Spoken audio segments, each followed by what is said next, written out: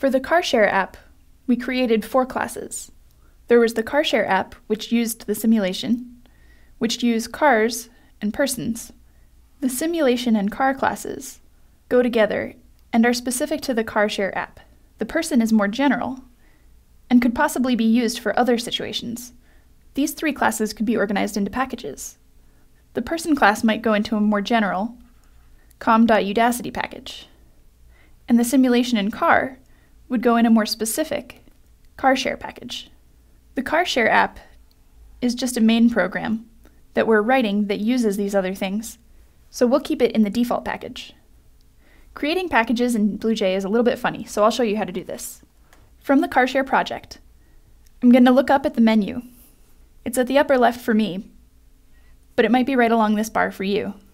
I'll go to Edit, New Package, and then put in the package name, com.udacity.carshare. Now the package appears here in BlueJ. I can open it up. This is the com package, this is the Udacity package, and this is the CarShare package.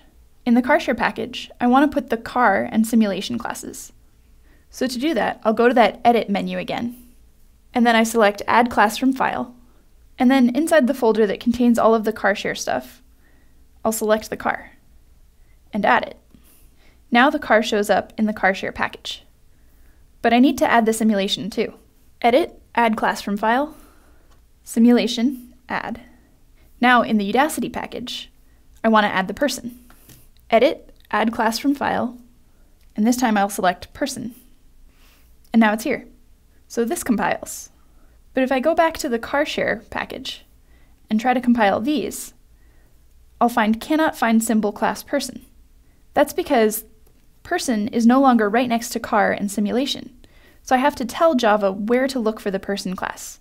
Where do I look for the person class? In com.udacity. Now before I ask you a question, I've got one more cleanup task. Right now there are actually two persons. There's one in com.udacity, and there's one in CarShare 7. So all of the classes that I copied into different packages, I need to remove. So I'll remove car, and it's okay that I'm permanently removing it because I copied it. And then I'll remove person, and I'll remove simulation. So like I just mentioned, right now car isn't compiling. What import statements would you need to add to this project to make it compile again? Go ahead and reorganize all of the classes into the right packages. Then to get the CarShare app running again, to which class should I add the import com.udacity.person? Write none if I never need to import this.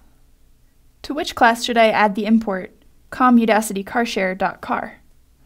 And to which class should I add the import com.udacity.carshare.simulation? And remember, write none if you never use a particular import statement. And separate answers with commas if you find that there are two classes that use the same import.